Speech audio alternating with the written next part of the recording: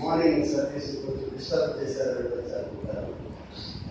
Today I celebrate the completion of my sixty six years ఇవాళ మీరు విన్నారు. నేను అరేంజ్ చేసిన పాఠాలు కాదు.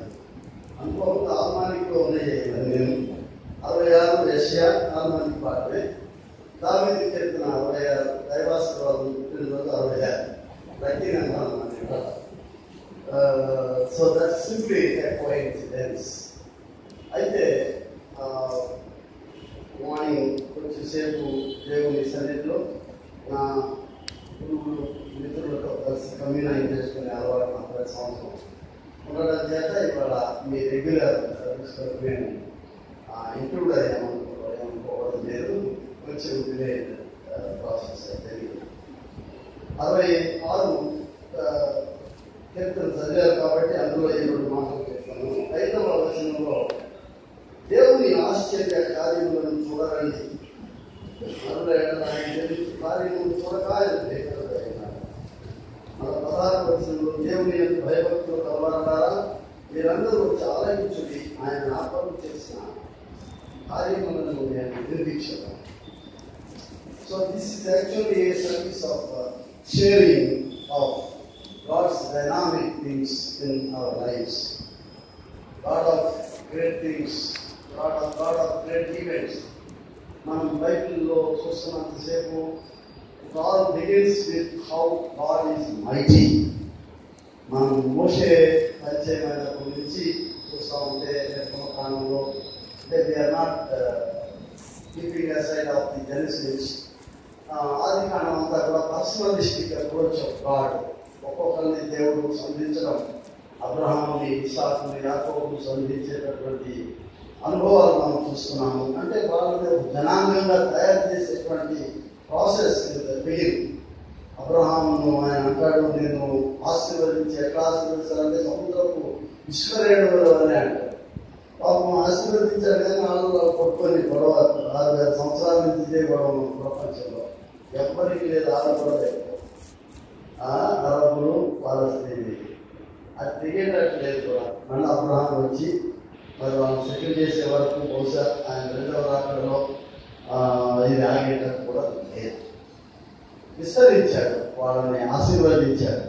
ఏళ్ళకేమో పాలు తేనెలు ఇస్తానన్నాడు పాలు తేనెలు ఇచ్చాడు ఇస్రాయేల్కి అవతల వాళ్ళు పెట్రోల్ ఇచ్చాడు. ఇప్పుడు పాలు తేనెలు అది కాస్ట్లీ అయి అమెరికాని డిక్టేట్ చేస్తా. ఉంది పాలు దాటి కాబట్టి దేవుడు అప్పుడప్పుడు వరకు వాడు ఇటు ఇద్దరిని ఆస్వాదిస్తారు after relation of heart to కానీ వెల్కమ్ కాలం వచ్చినప్పటికీ ఈ పర్సనలిస్టిక్ అప్రోచ్ నుంచి దేవుడు కమ్యూనిటేరియన్ రిలేషన్లోకి వచ్చారు అంటే గాడ్ అండ్ హిస్ పీపుల్ తన ప్రజల కొరకు దేవుడు ఎలా ఆయనను తను తాను సమర్పించుకుంటున్నాడు లేక బాధ్యతగా తయారు చేసుకుంటున్నాడు అనేది గమనిస్తే మోసతో ఏం చెప్తున్నా అంటే నా ప్రజల యొక్క మునుగులు నాకు కనబడుతున్నాయి అబ్రహాం వ్యక్తిగతంగా ఆయన బయటికి రమ్మన్నప్పుడు అబ్రహాం భూములు ఏమి లేదు ఆయన. ఇసాకు భూములు ఏమీ లేదు. యాకు అసలు పని లేదు ఆయన ఎప్పుడు మొలగలేదు ఇతరులను యుక్తితో మోసం చేయడానికి ఆయన ఎదుగుతూ ఉండాలని ప్రయత్నం చేశారు? కానీ ఇక్కడికి వచ్చినప్పటికి వాళ్ళ సంగతే. వాళ్ళు స్థాయికి వచ్చినప్పటికి బాగా ఎదిగి ఆశీర్వదించబడ్డారు. మనం యోసేపు గారి రోజు తర్వాత there was down fall of the people there was a kind of ఒక పక్షపాత ధోరణిలో వాళ్ళని ట్రీట్ చేయడం ఈ సమాజంలో చూడగలం.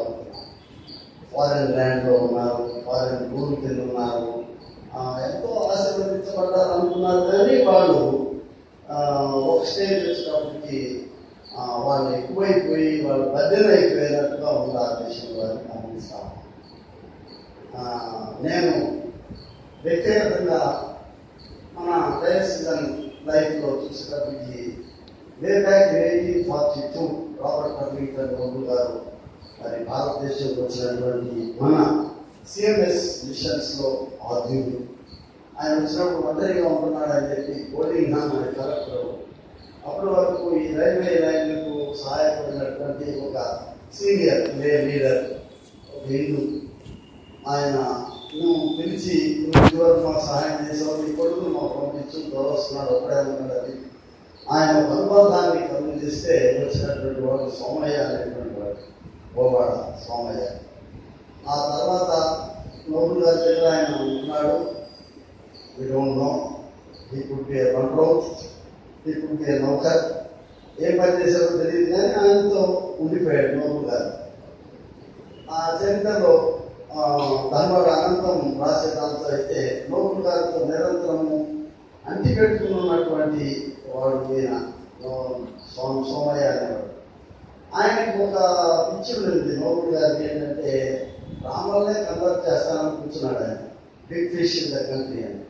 కానీ ఆయనకు ఒక బ్రాహ్మడే దొరికాడు మంచాల వెంకటరత్నం అనేటువంటి మంత్రి గారు. తర్వాత ఒక వెలమ దొరికాడు. ఆయన కొంచెం ఇష్టపడ్డాడు ఓకే. బ్రాహ్మణ తర్వాత ఎవరు? క్షత్రియుడు కదా.